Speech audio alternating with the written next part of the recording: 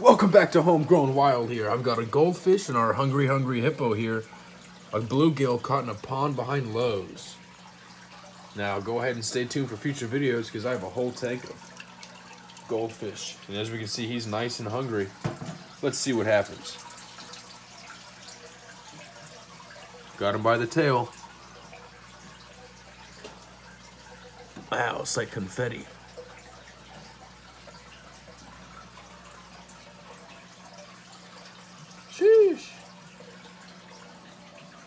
One fish, two fish, blue fish, go fish. Oh my. Oh my.